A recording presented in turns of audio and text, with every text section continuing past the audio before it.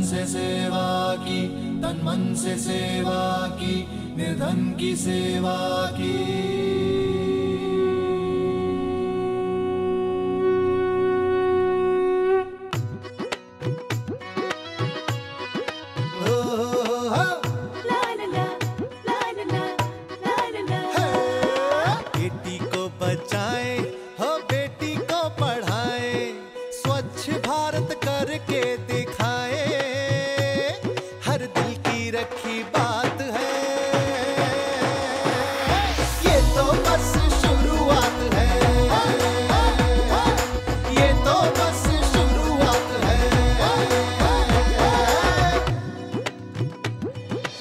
भ्रष्टाचार बंद कराया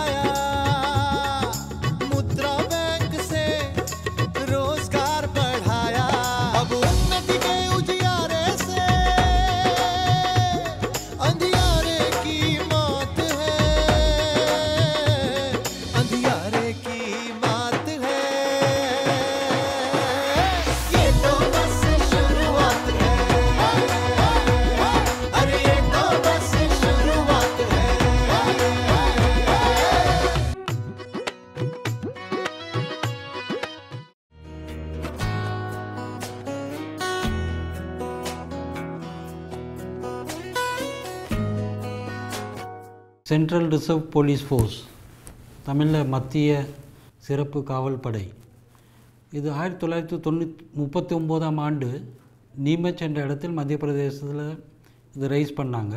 அப்போ ரைஸ் பண்ணும்போது இது வந்து பிரிட்டிஷ் ரூல் டயத்தில் உருவாக்குனது. இது உருவாக்கும்போது இது வந்து க்ரௌண்ட் ரெப்ரசன்டேட்டிவ் போலீஸாக இருந்தது. அதுக்கப்புறம் இண்டிபெண்டன்ஸ் கிடச்ச பிறகு இது வந்து சென்ட்ரல் ரிசர்வ் போலீஸ் ஃபோர்ஸ் ஆச்சு. இந்த ஒரு பெட்டாலியன்லேருந்து இப்போ வந்து தற்போது இரநூத்தி நாற்பத்தாறு பெட்டாலியன். மொத்தம் முன் மூணு புள்ளி இருபத்தஞ்சி லட்சம் பேர் இங்கே வேலை பார்க்குறோம். நம்மளுடைய நம்மளோட மெயின் இது வந்து இன்டர்னல் செக்யூரிட்டி காப்பாற்றுறதுக்காக சென்ட்ரல் ரிசர்வ் போலீஸ் படை.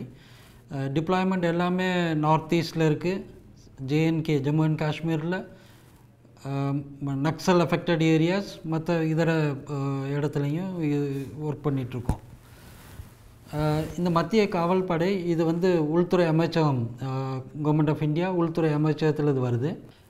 மத்திய அரசாங்கம் இந்த ப இந்த சிஆர்பிஎஃப்பை நிறைய வெல்ஃபேர் மெஷர்ஸ் செய்கிறாங்க உதாரணம் சொ சொல்லப்போனால் இந்த சிஆர்பிஎஃப்பில் அங்கங்கே தீவிரவாதிகளோட சண்டை போட்டு இறக்குற மக்களுக்காகவும் அவங்க இந்த மாட்டியஸ் மாட்டியஸ்க்காக நிறைய ஸ்கீம்ஸ் இருக்குது அவங்க குழந்தைகளுக்காக அவங்க ஃபேமிலிக்காக கம்பஷனட் அப்பாயின்மெண்ட் மற்றபடி டிஃப்ரெண்ட் ஸ்கீம் ஆஃப் ஸ்காலர்ஷிப்ஸ் மற்றபடி அவங்களோட உறவு வைத்துக்கொள்ள வருஷ வருஷம் நான் அவங்கள கூப்பிடுவோம்.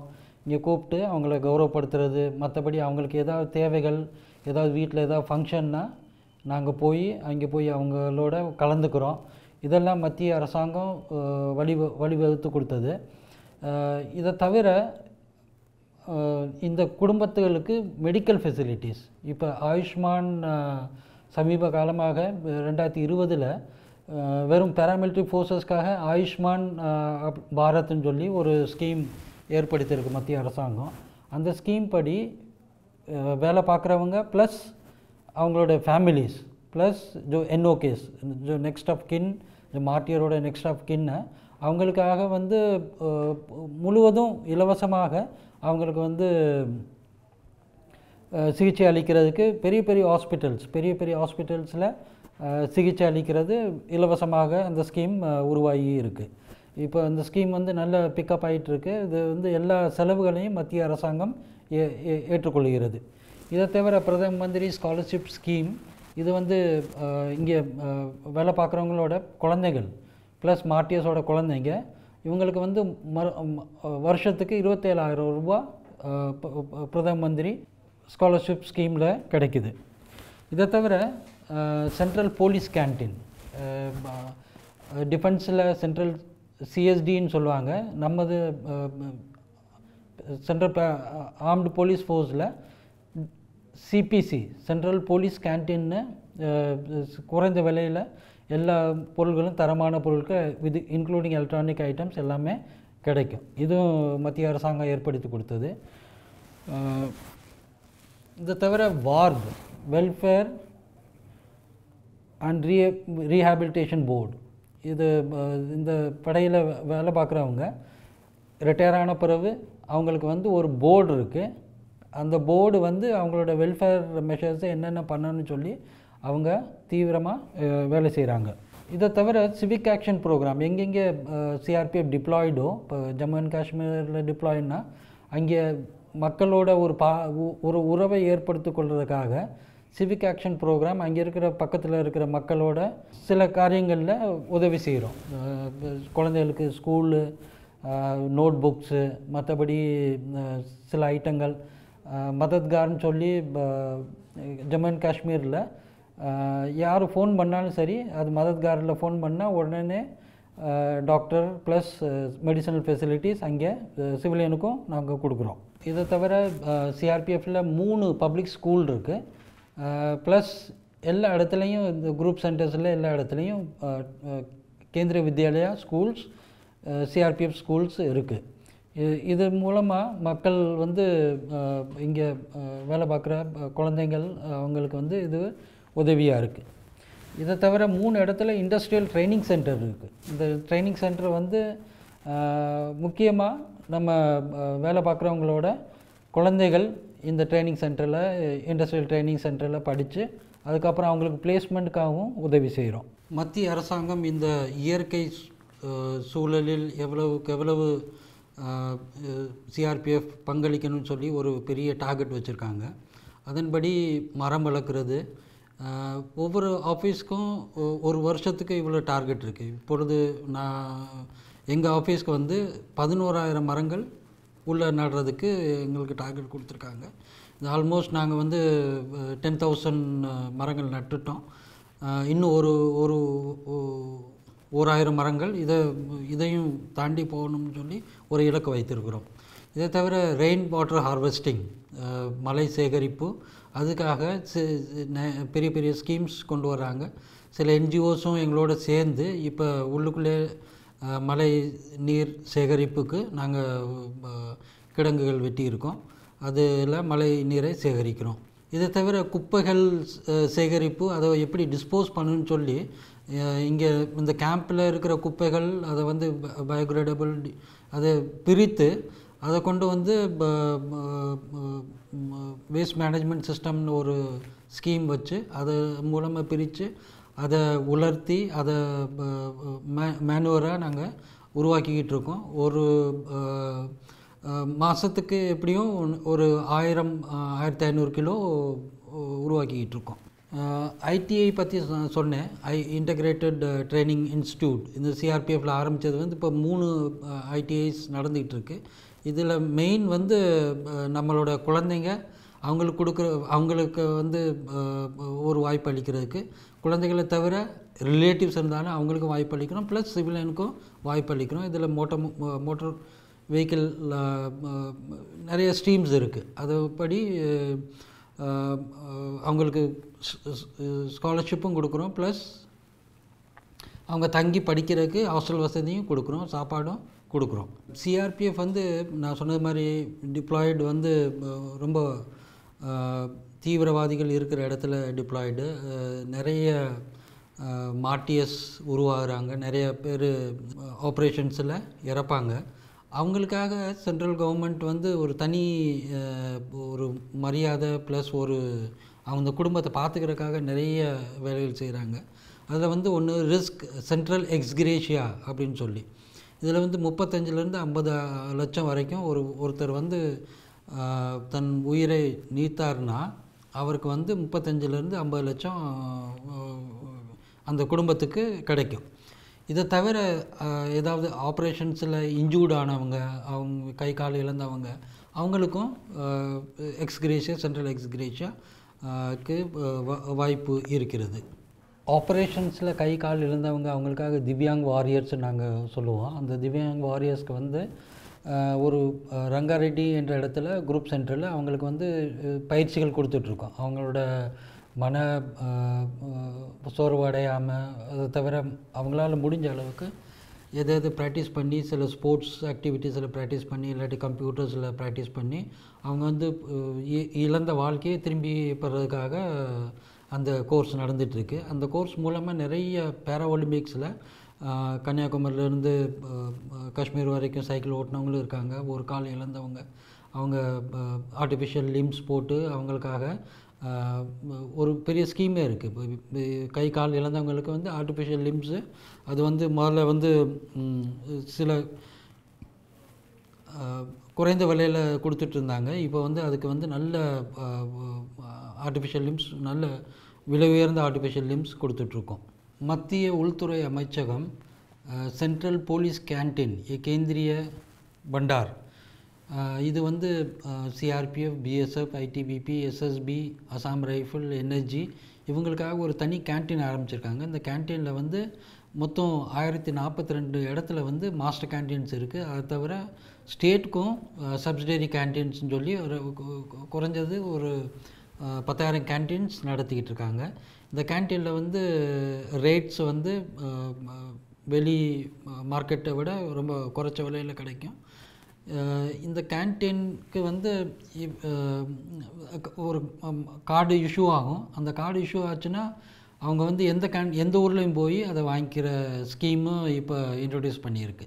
Vehicle four wheeler two wheeler நாலு சக்கர வாகனம் ரெண்டு சக்கர வாகனமும் வாங்குறதுக்கு நிறைய ஸ்கீம்ஸ் இருக்குது சிவிக் ஆக்ஷன் ப்ரோக்ராமில் ஒரு மதத்காரன் ஒரு காஷ்மீரில் சிஆர்பிஎஃப் ஆரம்பிச்சிருக்காங்க. அந்த மதத்காரன் மூலமாக ஒரு டோல் ஃப்ரீ நம்பர் இருக்குது அந்த டோல் ஃப்ரீ நம்பரில் எந்த சிவிலியனு எங்கே இருந்தாலும் என்ன வேலைனாலும் அவங்க வந்து அந்த நம்பரில் சொன்னோம்னா எதர் மெடிக்கல் ஃபெசிலிட்டிஸ் வேணும் இல்லை வேறு ஏதாவது தீவிரவாதிகள் துன்புறுத்துகிறாங்க இல்லை எந்த இந்தியாவுக்குள்ளே எந்த இடத்துல இருந்தாலும் சரி அவங்க குழந்தைங்க இல்லை யாருக்காவது க கஷ்டம் இருந்தால் அந்த அந்த டோல் ஃப்ரீ நம்பரில் சொன்னால் உடனே ஆக்ஷன் சிஆர்பிஎஃப் எடுக்கும். ஏன்னா சிஆர்பிஎஃப் பேன் இண்டியா டிப்ளாய்மெண்ட் இருக்குது எல்லா இடத்துலையும் டிப்ளாய்மெண்ட் இருக்குது அதனால் இது ரொம்ப இலகுவாக இந்த நிறைய கேன்சர் ட்ரீட்மெண்ட் செய்கிறோம் இன்கேஸ் காஷ்மீரில் ட்ரீட்மெண்ட் கொடுக்க முடியலனாலும் அவங்கள வந்து வெளியூருக்கும் அழைச்சி கொண்டு போய் அங்கே நிறைய இடத்துல செய்கிறாங்க இதை தவிர சிஆர்பிஎஃப் வந்து நக்சல் அஃபெக்டட் ஏரியாஸில் வந்து நிறைய இடத்துல ரோட்ஸ் இல்லை பிரிட்ஜஸ் இல்லை எலக்ட்ரிசிட்டி இல்லை. அது வேலை செய்யும்போது நக்சல் வந்து தொந்தரவு கொடுப்பாங்க. அதை இது பண்ணுறதுக்காக அந்த வேலை செய்கிறவங்களுக்கு வந்து நாங்கள் பாதுகாப்பாக ரோடு போடுறதுலேயும் இன்வால்வ் ஆகிறோம். ப்ளஸ் மற்ற ஆக்டிவிட்டீஸ்லேயும் இன்வால்வ் ஆகிறோம். சில இடத்துல வந்து நக்சல் ஆதிக்கம் காரணமாக மக்கள் வந்து நிறைய பிரெயின் வாஷ் ஆகிறாங்க அவங்களுக்கு வந்து ஒன்றுமே புரியலை. இன் டெவலப்மெண்ட் பற்றி ஒன்றுமே புரியலை. அவங்களுக்கு வந்து டெவலப்மெண்ட்னா என்ன வரும் அதெல்லாம் சொல்லி கொடுக்குறோம். ப்ளஸ் அவங்களுக்கு வந்து டெலிமெடிசன் சொல்லியும் கிராமத்திலே போய் அவங்களோட ஸ்கைப் மூலமாக இல்லாட்டி ஆன்லைன் மூலமாக அங்கே இருக்கிற பெரிய ஹாஸ்பிட்டல்ஸில் டாக்டர்ஸோட உறவு ஏற்படுத்தி அவங்களுக்கு ட்ரீட்மெண்ட்டும் செய்கிறோம் இதை தவிர அங்கே ட்ரீட்மெண்ட் பார்க்க முடியலன்னு டெலிமெடிசனில் பார்க்க முடியலன்னா அவங்கள கூட்டி கொண்டு போய் சிட்டிஸில் கேபிட்டலில் இடம் வச்சு நான் அவங்களுக்கு ட்ரீட்மெண்ட் கொடுக்குறோம்.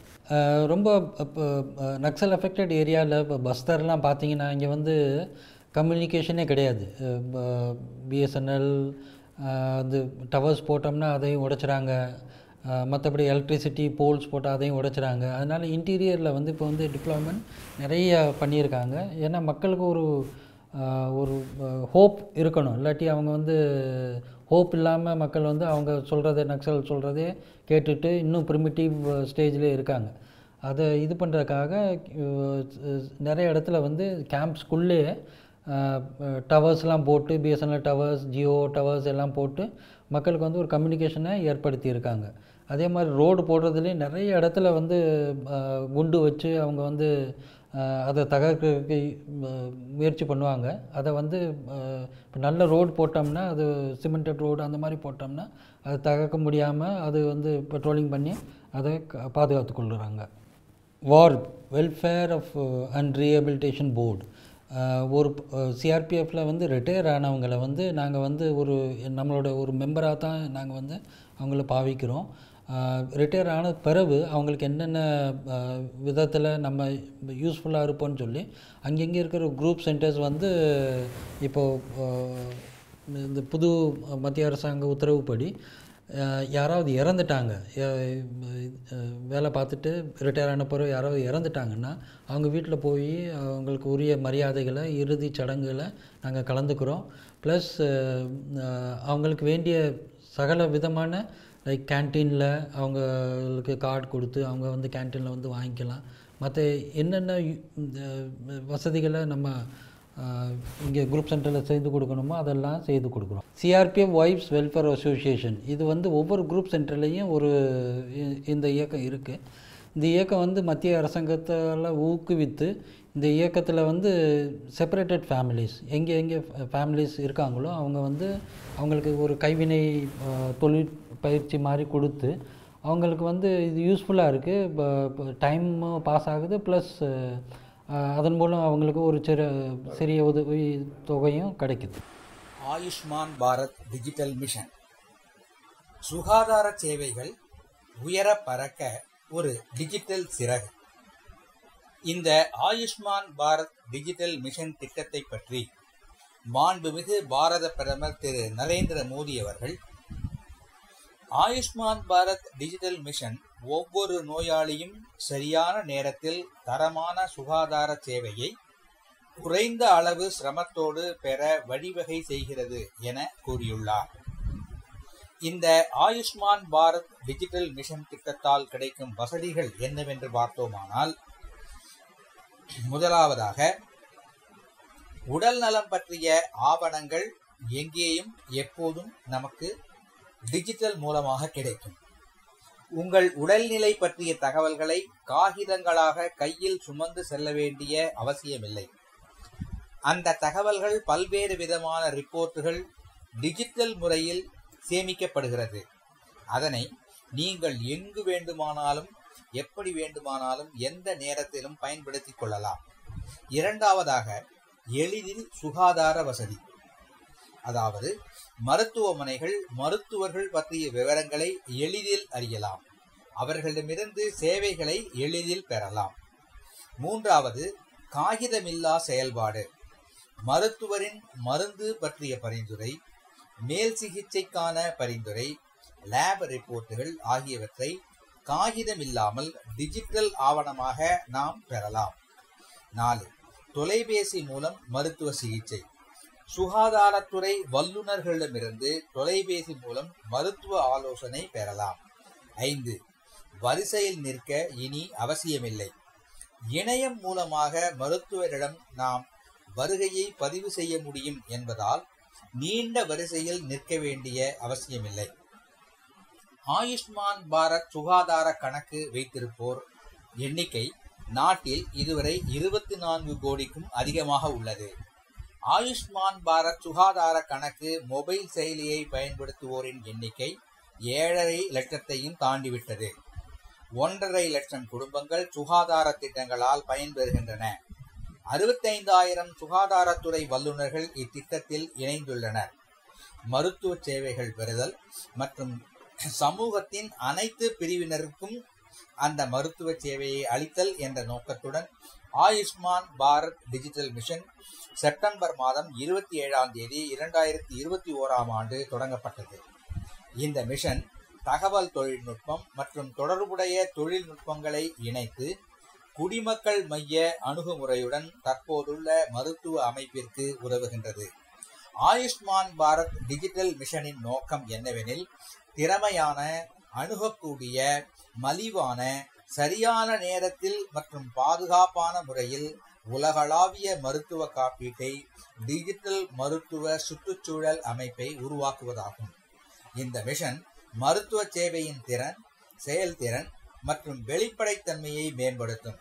இது பொது மற்றும் தனியார் மருத்துவ சேவைகளை அணுக தனிநபர்களுக்கு தங்கள் விருப்பப்படி தேர்ந்தெடுக்க வாய்ப்பு வழங்கும். Ayushman Bharat digital mission. சுகாதார சேவைகள் உயர பிறக்க ஒரு டிஜிட்டல் சிறகு. சிஆர்பிஎஃப்பில் சேர்றதுக்கு வந்து நிறைய மக்கள் வந்து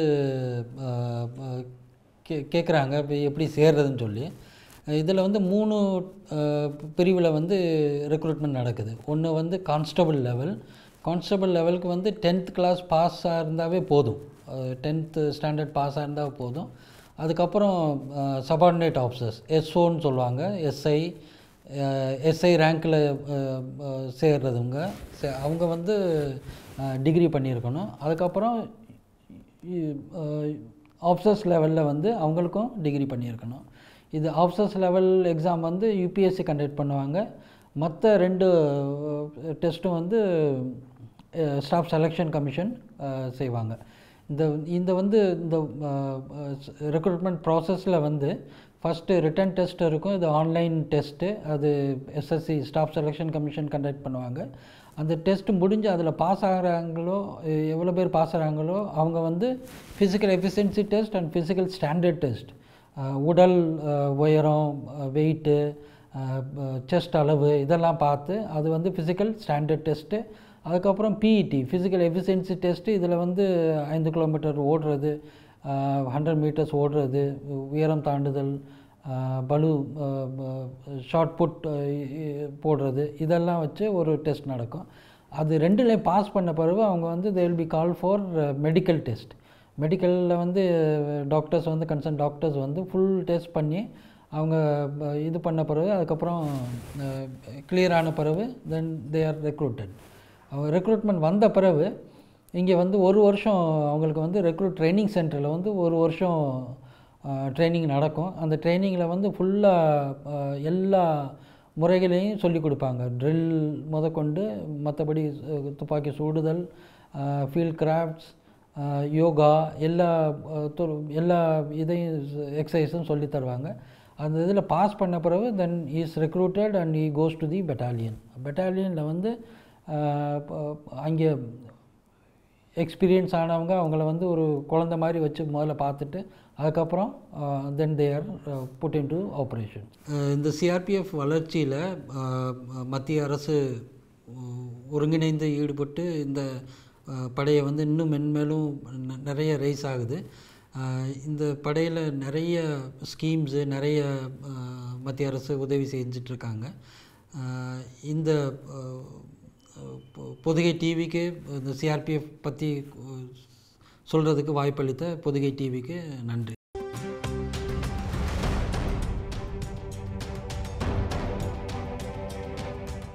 ஜல் ஜீவன் திட்டம் தொடங்கும் நேரம் நாட்டில் வெறும் பதினேழு சதவீத கிராமங்களில் மட்டுமே வீடுகளில் குடிநீர் வசதி இருந்தது.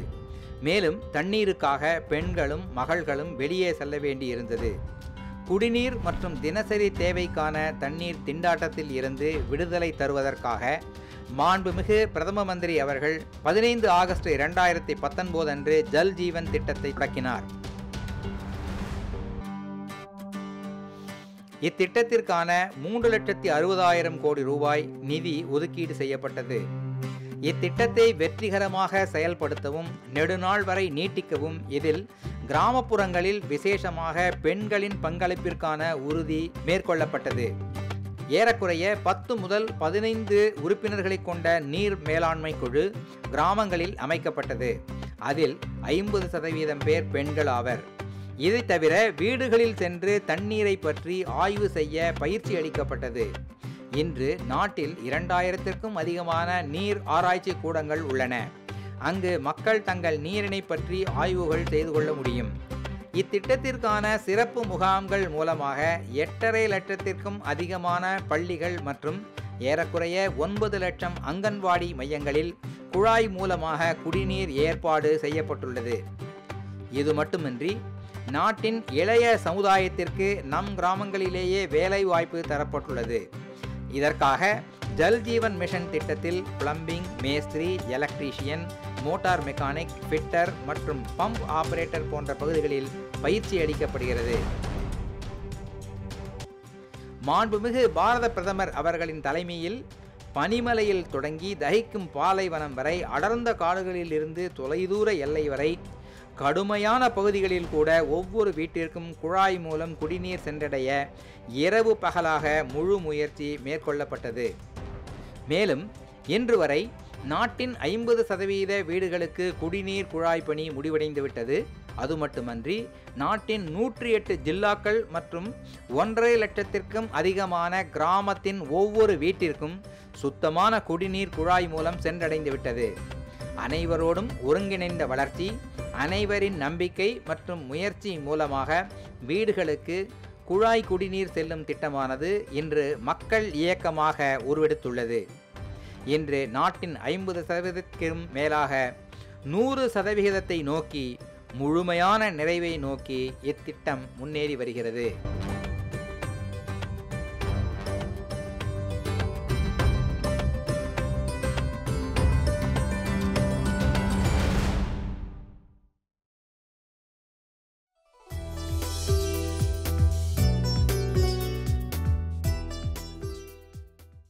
நமது பொதிகையில் திங்கள் செவ்வாய் வியாழன் மற்றும் வெள்ளிக்கிழமைகளில் முற்பகல் பதினொன்று முப்பதுக்கு வழிகாட்டி நம் பாரத பிரதமரின் மக்கள் நலத்திட்டங்கள் நாட்டின் கட்டமைப்பு மகளிர் மேம்பாடு வளர்ச்சி திட்டங்கள் வேளாண் வளர்ச்சி தொழில் முனைவு பொருளாதார மேம்பாடு இன்னும் பல திட்டங்கள் பற்றி துறைசார் வல்லுநர்கள் பங்கேற்கும் வழிகாட்டி. இதன் மறு ஒலிபரப்பு இரவு பதினொன்று முப்பது மணிக்கு. பொதிகையுடன் இணைந்திருங்கள்.